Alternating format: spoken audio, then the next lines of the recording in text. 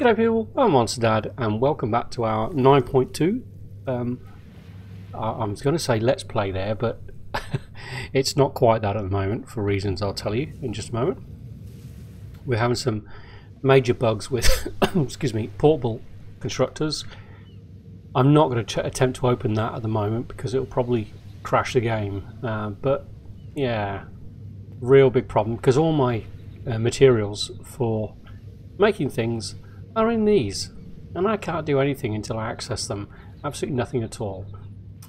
But in the meantime I was hoping to introduce you to Bob our little slime friend but he seems to have disappeared today. I don't know why. Every time I've come to the game between the last two episodes he's been here burping and farting and generally making some disgusting sounds but you know we came to a bit of an agreement after we had our first couple of fights and we leave each other alone now but yeah, he seems to have disappeared.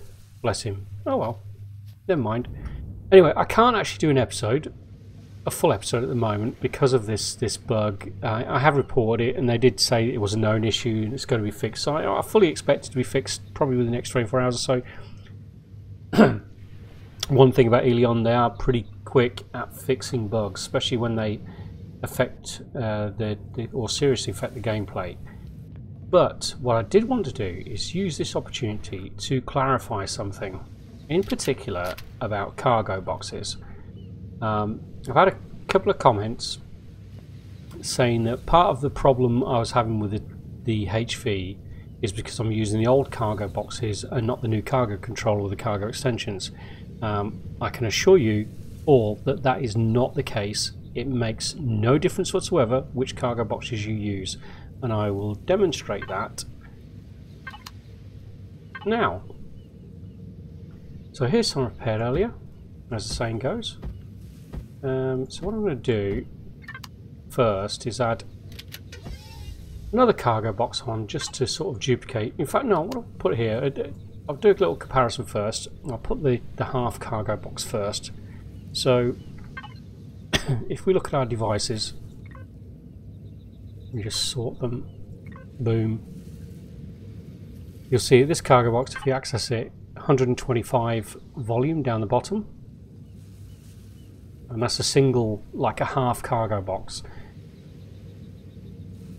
The other two cargo boxes, 250 because they're like a double cargo box. Um, what I'm going to do is take this one off,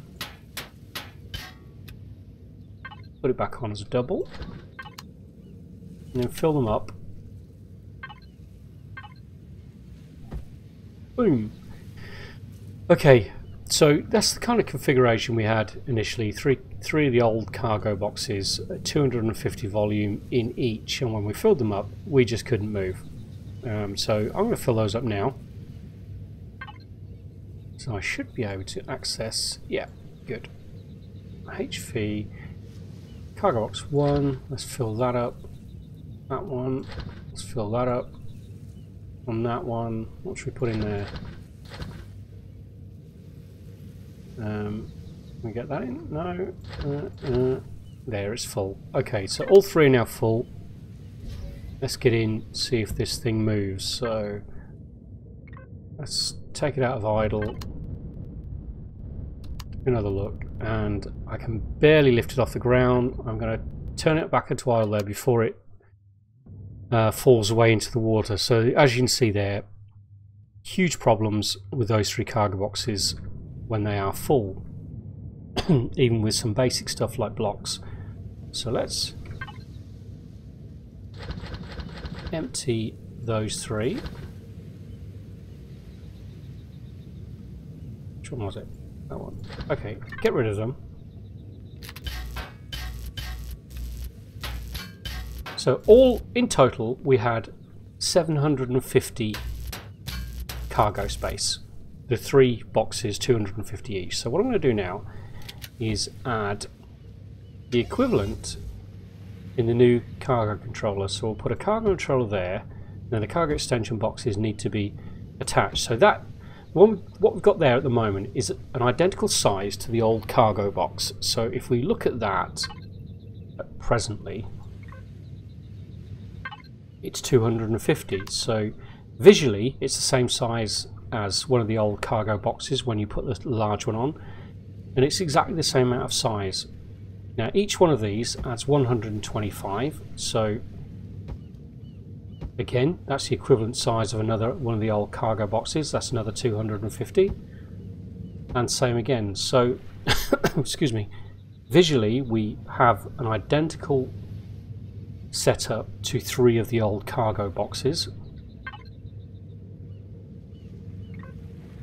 In here we only need to access one cargo box which is which is a nice convenience with a new system. And as you can see there it's 750 with the volume. So if we go into our base and pop basically the same stuff in there it is full up again so with identical things that we had between the three cargo boxes and the other and the other one so let's get in and see if it makes the slightest bit of difference. I know the result, personally, but I just want to, to sort of test it and show it on camera. So we'll look at this way. So again, exactly the same thing happens. It can barely get off the ground with this configuration. Um, so I can assure you the type of cargo box makes no difference whatsoever whether it is one of the new type or one of the old type. Um, the cargo extensions make no difference to the issue that the hover vehicle engines are not strong enough to move a hover vehicle when even just a few cargo boxes are full. And, and that is probably, for me, the biggest issue at the moment with the logistics system. I'm aware of the maths behind it. Um, unfortunately, for me, that's irrelevant. You know, uh, you can apply all the real life maths you want to configure this type of thing, but we're talking about a sci-fi game. Um, you know, do something else, make it work. Real life maths is killing HV and SV use at this moment in this game, and and that's what matters more than anything. So yeah, I just thought I'd use this episode three, not to whinge, and apologies for all the whinging I did in the last episode. I was getting very frustrated with with the, the hover vessel. Um, you know, this is the kind of basic hover vessel you build early game, and quite frankly, if you look at what's 52 concrete blocks, couple of you know, it, there's hardly anything. A bit of fuel and a few blocks. It, it's rendering HVs unusable, in my opinion, um, in the current state that the logistics is in with regards to HVs. Uh, yeah, so I mean, and I've I've fed that back to to Eleon, um, and I've noticed other people have as well, and hopefully that'll get changed. They'll work something out to to make this work. Um, my feeling is it's the the prob the biggest problem is the hover engines and the thrusters are just too weak. Um, they need to be drastically overhauled and the, the power of them increased drastically so that we can move these vehicles. If you know, if you can get 32, I think it's 32,000 um, with the extensions onto a hover vessel in volume. Now I did a bit of testing off camera and by my figuring uh, I did a test with a, a vehicle that had 2000 capacity and I had to put five of the the the highest level highest tier thrusters the jet thrusters on the rear of it just to move it now so by that reckoning if you times 2000 by about 15 you'll get around about 30,000 you would need to times those jet thrusters on the rear of a hover vessel by 15. And then it depends on the weight of the stuff that you put, the actual mass of the stuff you're putting into the the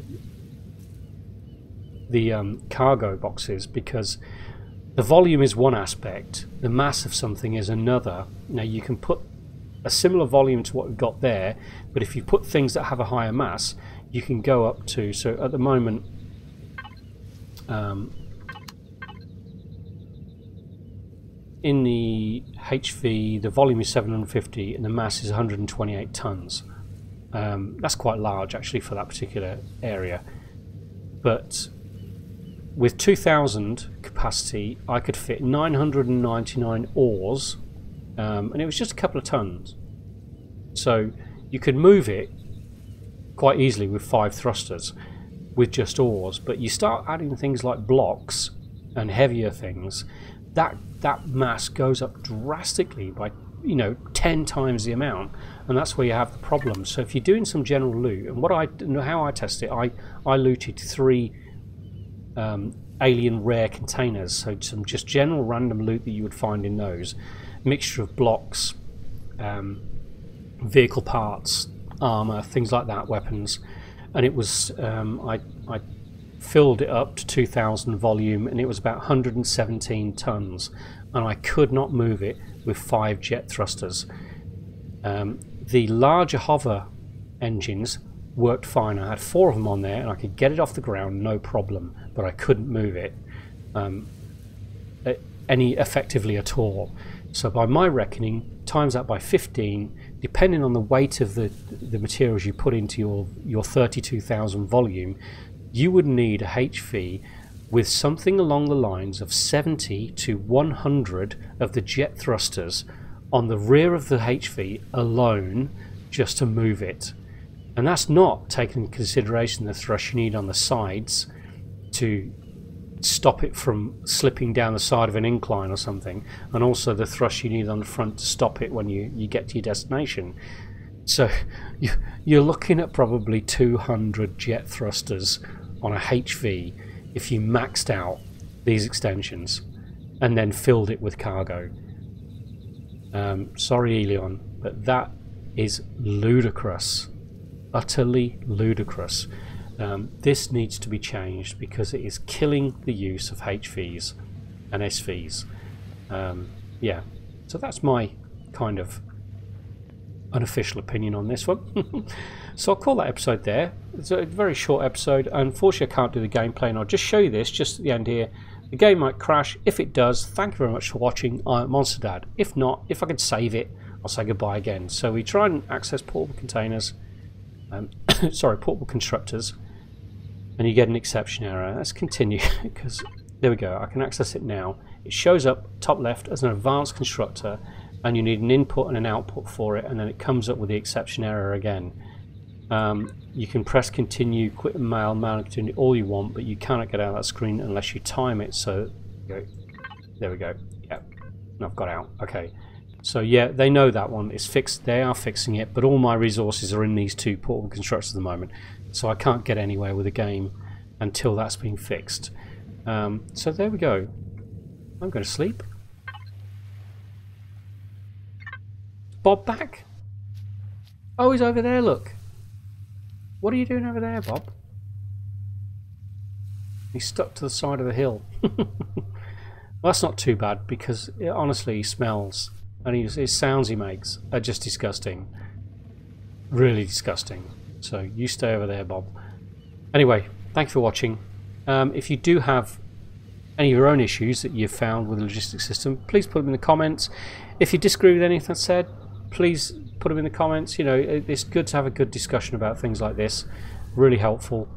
Um, and I will see you in the next episode when hopefully these portable structures will be fixed.